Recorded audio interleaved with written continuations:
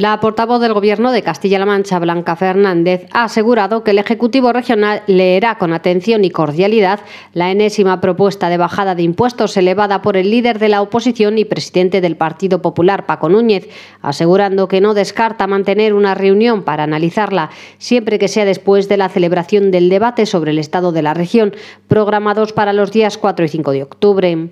A preguntas de los medios, tras una rueda de prensa, ha señalado que en todo caso son medidas que no son nuevas y que se limitan a pedir al Gobierno de España que haga cosas. Bueno, yo creo que le tengo que decir varias cuestiones al señor Núñez. La primera es que proponer, por ejemplo, el bajarle los impuestos al 0,2% de la población más rica de Castilla-La Mancha, perjudicando así el presupuesto público que atiende generalmente a la población que más lo necesita, no parece que sea una solución, ¿no? Porque ahora ya saben ustedes que está, a raíz del anuncio del presidente de Andalucía, en primer plano lo que sería la rebaja de impuestos en relación al impuesto al patrimonio. ¿no? No, no lo compartimos, no nos parece que sea procedente.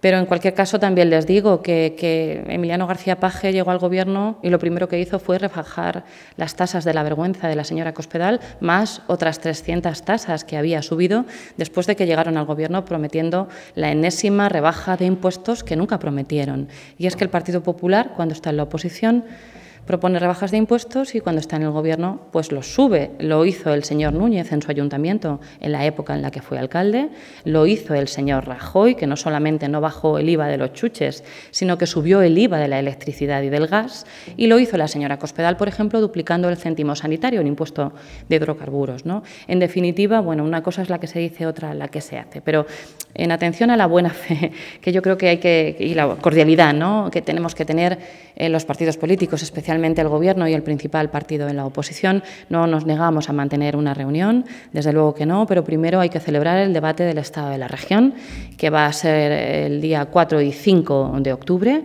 Celebraremos el debate del Estado de la región y a partir de ahí se le puede poner fecha perfectamente a esa reunión para hablar de estos temas y de cualquiera otro.